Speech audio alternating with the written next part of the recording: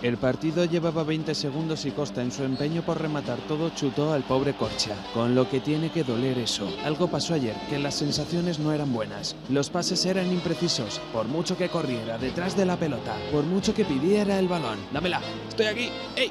¡Ey!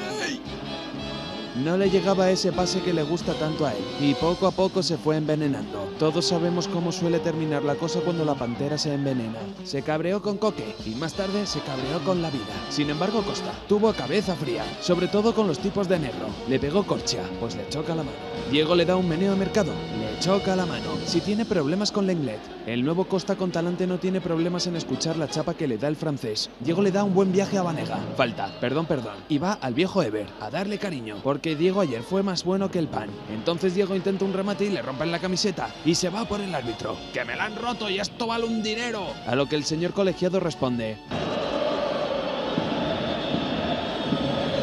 La pantera se va hacia la banda y enseña a todo el metropolitano que el reto profe Ortega es garantía de éxito absoluto. Remate de costa de cabeza y paradón de rico. Jugada personal de Diego y Corcha le tapa bien. Atención, gol de Costa. Gol anulado a Diego y la pantera se queda con esa cara de no entender nada. Remate que se le escapa a la pantera por el pelo de una gamba. Otro remate que se le escapa a la pantera por el pelo de una gamba. Diego empala la bola. Y se marcha desviada, pues fue en una de esas en las que parece que la jugada no va contigo, en la que llegó el gol. Viendo a la bestia así, uno se imagina que le entraron unas pocas de ganas de ir con su gente. Ahí le tienen como una estrella del rock and roll pidiendo más aliento a su público. Pero todo se vino abajo cuando empató el Sevilla. Diego, dale, dale. Y sobre todo cuando Diego vio venir mejor que nadie el segundo.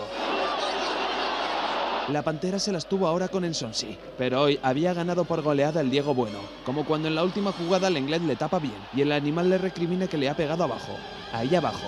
Y cuando el otro le dice, pues tú vas con el codo, Costa dice, ¿qué va hombre? ¿Qué va hombre? dice. Así es Costa, lo hizo todo, pero no fue suficiente.